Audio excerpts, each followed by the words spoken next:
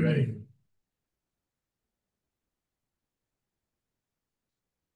Maybe not ready. Yeah. Eric. Hey, Eric. Um, yeah, I was just wondering about um, wondering about uh, Collin Clay on the other side. You came in with him back in 2019. I didn't know if you guys still keep in touch. If you talked to Braun, said to ask you about him. So I, I don't know if you talked to Braun about him at all, or what's the story? No, no, I ain't. I haven't talked to Brown about him, and uh, we've been we follow each other on social media. We keep in contact uh, here and there. He just got married recently, I believe, in uh, the summer. Congratulate him on that. But I mean, yeah, it's still my boy, and I mean, he you know he's he came off an injury like I believe two years ago, so he was kind of like me coming in too, man. We were big DNs playing, and then you know injuries happen. We gained a little weight, and then we get thrown aside. I mean, so we kind of got the same. We had the same mindset of just being physical and man and playing through the whistle. So I feel like that's what he's going to bring when he come in and play. Yeah, you think he's extra amped up for this one? Oh yeah, yeah, yeah, for sure. No doubt, for sure. Yeah, Luke, going back to your home state, um, sure Oklahoma State recruited you and stuff. What are your thoughts about going into Stillwater and uh, playing in front of the, your home state crowd? I mean, it's definitely exciting. Um, I have a lot of uh, former teammates on that team from high school, and then uh, just being able to go back to Oklahoma, where my family's at, and um, just a lot of people I know. It'll be exciting. But I mean, this past weekend was exciting too. But uh, definitely excited to get down there and play in my home state. Thanks, guys. Bob. Yeah, but Luke, did uh did Oklahoma State? Uh, I assume they recruited you. If they're not, if they didn't, they're pretty stupid. Did, did they recruit you, or what? What was that like? Yes, they were actually my first offer um in high school. Um no, it was I mean it was good. I mean, it was early on, so I wasn't I was just kind of still taking on the recruiting process. Um so that's pretty much it. You remember, like, were you a sophomore? Do you remember how old you were when they offered you? Yes, I was uh was the end of my sophomore year. You take a visit or give them much consideration, or Yes, I went down there a couple times. Um, like I said, I have a bunch of teammates from uh, my high school team who went down there, um, or who play there. So um, I go down there with them here and there. I, th I think you guys, each player gets four tickets to vis road games, if I'm not mistaken. Is that, is that still right? Yes. So, how many do you need, and how many have you been able to acquire? Uh, that's that's a mom question for me. I'm not really in charge of that stuff. She kind of takes over with all the ticket stuff. Yeah. Or do you have any idea how many of family and friends will be there for, for you and Dylan? Uh, I'd say probably around eight, ten, maybe. I bet it'll be, I bet it'll be more than that. Um, and then, you know, the other night was your first time to play in a long time because you missed so many games, obviously, last year. Just how good, what did it feel like to be back uh, on the field playing? And obviously, this game's, you know, higher stakes. Uh, how exciting is, is it for this first really big one of the season? Um, uh, last week it felt good to get back out there, especially just with uh, uh, our teammates and the new teammates too. I mean, it was just exciting. It's really fun to play with the our offensive line and the tight ends um in our room. Uh, we all compete and really want each other to succeed. So I mean, it was cool to see Ty out there uh, get a nice touchdown thrown from Taylen, who played amazing too. And then it was just definitely really exciting to get back out there and play an actual game instead of practice. Uh, but this next one will be probably even more exciting. And then Eric, I think I read right. Oklahoma State has five redshirt seniors on their offensive line. Maybe some of those guys, you might be six-year guys like like you are. Just well, what's your take on our offensive line and playing a? And they're all three hundred some pounds, I think. What, what, what's your take on our offensive line with all that size and experience and everything? I mean, they're uh, they're like you said, they, they got a lot of experience. They've been here probably just as long as I have been playing. So I mean, they got a lot of experience, and then like you said, they're big. So I mean, they they they're physical. They're kind of like an SEC O line. O line. You look at it. I mean, there's really no difference. So we got to come in. We got to attack the same way we do each and every week. I might have a couple more. I'll, I'll turn back to Oliver. Th- Thank, thanks, thank you. Tom, go ahead. Hey, Eric. Uh, so a couple of years ago, you guys went to BYU and won the first game of a two-game series, a big marquee type game. Um, but Arkansas had done that in the past against TCU and Texas Tech. I wonder what like the mentality you take into a road game that you know there's going to be a lot of eyes on you uh, to start a two-game series like that. I mean, you just gotta, you gotta go in and play football. I mean, it's football at the end of the day. I mean, the only difference really is, is the crowd noise when you look at it. I mean, so once you eliminate that, it's just football. So this is this is mindset we come in with. We're gonna go in there, eliminate the crowd noise, and we're gonna we're gonna play football. Um, Ollie Gordon uh, comes in as Doak Walker Award winner. He breaks a lot of tackles. What's your thoughts on about facing a, a running back of his caliber?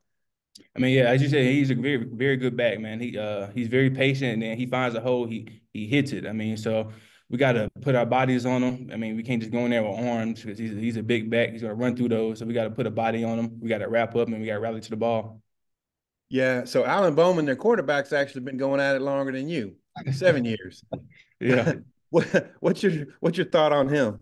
Just just seeing it, the way he operates in that system, and you can tell he's been there for a minute the way he like knows in and out, the, the calls, and stuff like that. So I mean, you can see the experience on film, and I feel like this is what he brings to it. He he knows the system in and out.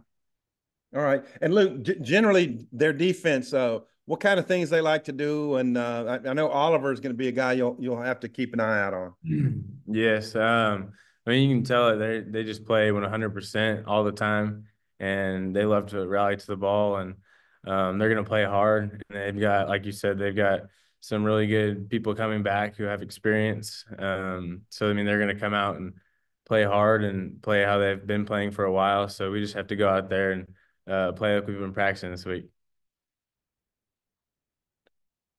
Bob Stevens, you got anything? Hey guys, uh, Luke, tell me about your visit to OSU and how emotional will it be for you to go there this week? uh, or is it more of a business trip? Is that going to be easy to keep it just business? Um, I mean, I wouldn't say it really won't. It won't really be emotional because I mean, I, I wasn't really very interested in Oklahoma State, but I mean, I was grateful that they offered me. But um, no, I'd say it's more like a business trip, just like any other game, though. Like same as last week. Um, we're gonna go in there and um, we've prepared for them um, well this week, and our coaches have a good game plan. Um, with us watching film against them.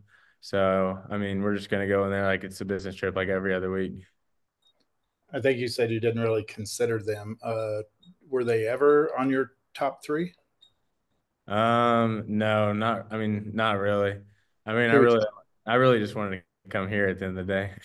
Did you have a top three or was it just a top one? Uh, it was pretty much just a top one, if I'm being honest. Why, why is that? Um, with Coach Pittman being here, um, and then just the coaches that have been around here, like when when they brought Coach Turner in, um, just with his resume, and then being here now and being coached by him, just seeing like how grateful I am that I chose to come here because he's one of the he's probably the best tight end coach in the country, just with the way that he teaches us and um, gets the really the room involved, not just one person. Like we're all involved competing every day how are you better than when you first got here? And what is it you still need to improve on the most?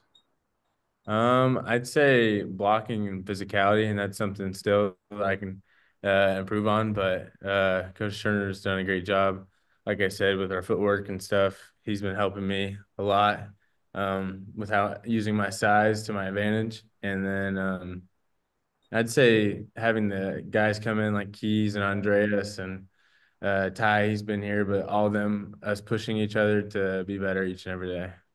Are you trying to get bigger or just stronger? Uh, I'm always trying to get bigger and stronger, but um, no, I'm happy with the weight I'm at right now. Um, just got to keep on doing, working on footwork and stuff, but um, it's definitely paid off this off season. What'd you work on the most besides healing after getting hurt last year and, and coming back in the I guess you were around in the spring. Forgive me if I'm wrong. Um, I'd say for sure the biggest thing I've worked on is blocking and having confidence while I'm doing it. For sure. Describe yourself as a route runner. Um, I like to say like I'm playing basketball out there. Like when I'm trying to get open, I'm using basketball moves to get open at the top of my routes and stuff. How good were you on the court? Did you you played in high school, I assume? um, yeah, I was pretty good. I played my freshman year. Uh, I got a chance to play on the varsity team my freshman year, and then really once COVID came around and they shut basketball down, that's when um, I transitioned to football just because I started gaining a bunch of weight, and my twin brother influenced me too. Okay. Why'd you gain a bunch of weight? were it just uh, maturing, or were you eating the wrong stuff? Uh, just lifting. Okay. Uh, during COVID, we bought a weight rack. Were, okay. Uh, who used it more, you or your brother? Uh, we both used it same pretty much every day we could. How important was it for the two of you? You know, because uh, you're being twins, you continually push each other, I assume. And what was what was that like? Uh, I mean, it's awesome having a twin, especially with him uh, being on the team with me. Um, and still to this day, we're pushing each other, not only on the field, but like also like in the classroom and uh, stuff off the field. So, I mean, it's great having him here with me. Were you always a tight end, or when did you uh, evolve into that? Um, I started uh, at wide receiver my sophomore year, but my high school did a bunch of bubble blocking stuff, and then that's when I really transitioned from uh, wide receiver to doing some tight end stuff my into my junior and senior year. You mentioned uh, the classroom. So, what's do you have a favorite class right now, and what what's your goal in the academically? Um, I mean, I like all my classes. Uh, I'd say my goal is just to get a degree.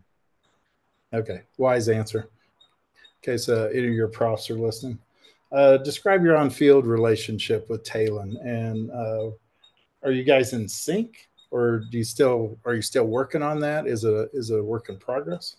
Um, no, I'd say uh, Taylen's done a great job since we got here, really getting all of us in sync with him and having chemistry. Um, no, but you you could tell uh, last year or last game that he's getting everyone involved and he's just a great guy on and off the field. What's your perception of him as a quarterback and how high his ceiling is? Do you think?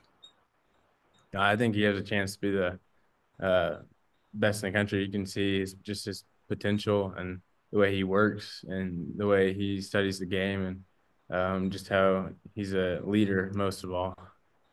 Eric, I see you nodding your head at the first part of that answer. You want to expound on that?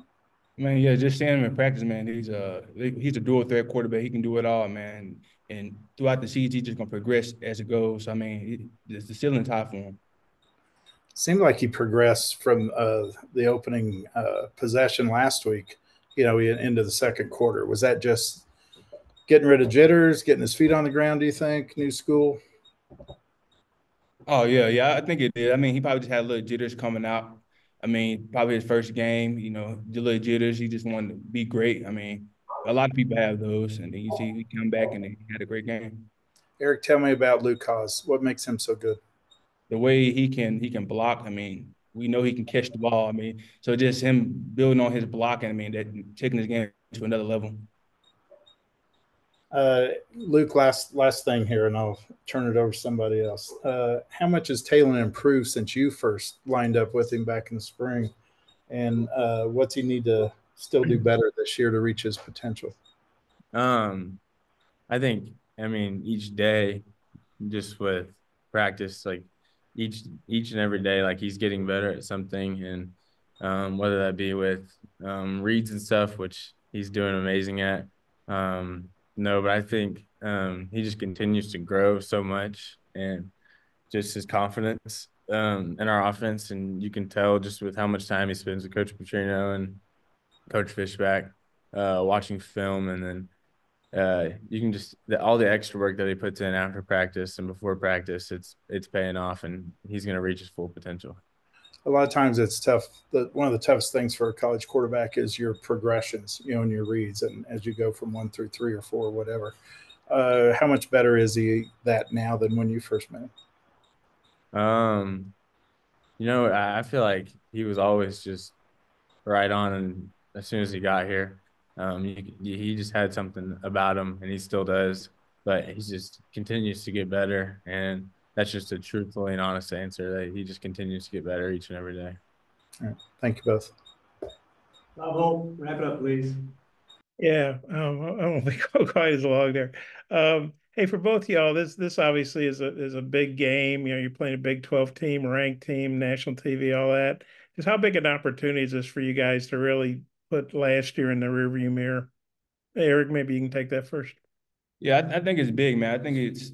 I mean, we our first game throughout the season we had success, but I mean, this is a different team. To be completely honest, a different team. We got to come in kind of with the same mindset. There's no really no different. I come with the same mindset. We got to uh, do what we do, man. We got to play ball. We got to line up. I mean, know our assignment and and focus on the small things. Um, I'd say it's just a great opportunity for us to um, show all the work that we've done in the off season and how we've really came together as a team um, on and off the field. So I mean, it's it'll be exciting for us. Let's one more for Luke. I know we talked in camp. about. I think you added about 10 pounds since last year. By Petrino said you got stronger. How did you feel that uh, translate into the game the other night? Uh, I'd say my my body feels better when I'm out there playing, and then uh, just with blocking, I feel like I have more force and power going in to people that I did last year. Okay, I, I think I'm good. Appreciate you guys. Eric, Luke, in store.